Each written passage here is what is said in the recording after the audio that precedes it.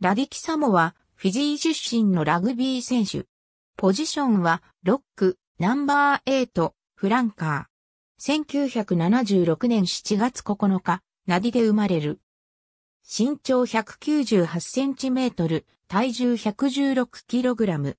19歳以下ラグビーフィジー代表に選出される。2000年、スーパー14、現、スーパーラグビーのブランビーズに入る。2004年、ブランビーズのスーパー12優勝に貢献し、同年、ワラビーズに選出、スコットランド戦で代表デビュー。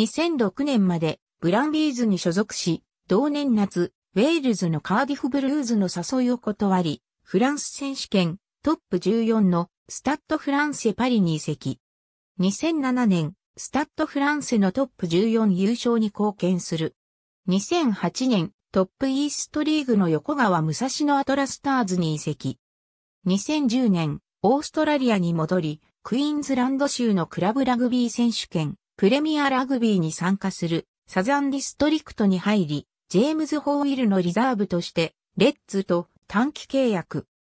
レッツのコーチから高い評価を得て2011年も契約し、スーパーラグビー2011シーズンファイナル7月9日35歳の誕生日にレッズが優勝する。